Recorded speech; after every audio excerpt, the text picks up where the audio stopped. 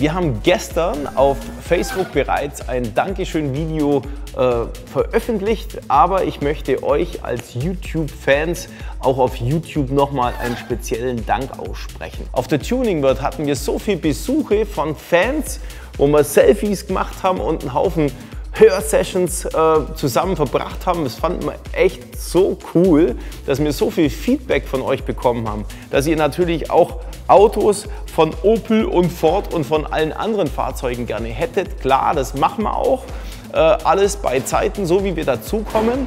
Ihr habt uns auch verraten, dass wir unsere Webseite noch ein bisschen besser erklären sollten. Ja, da werden wir auch noch mal ein Video drüber drehen.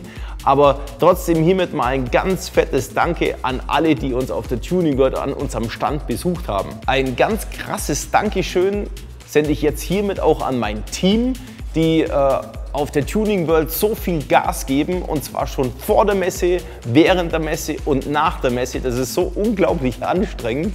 Äh, ein ganz fettes Dankeschön an die Lageristen, die im Hintergrund stehen und uns die Ware auch vorbereiten und auch wieder zurückpacken und so weiter.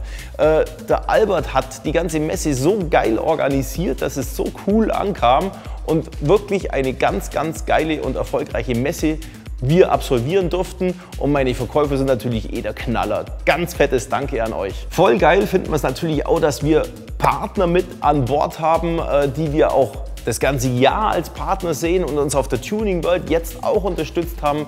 Da zählt natürlich Ground Zero dazu, Eaton zählt dazu, wir haben Pioneer mit dabei gehabt, wir haben Elektromedia mit Audison und Herz.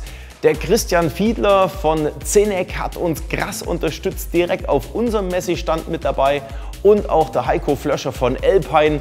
Euch allen vielen herzlichen Dank für eure Unterstützung. Genug gedankt, ich gehe jetzt zurück an die Arbeit und ihr könnt euch schon mal auf die neuen Videos von unserem Golf 7 freuen, die jetzt dann online gehen.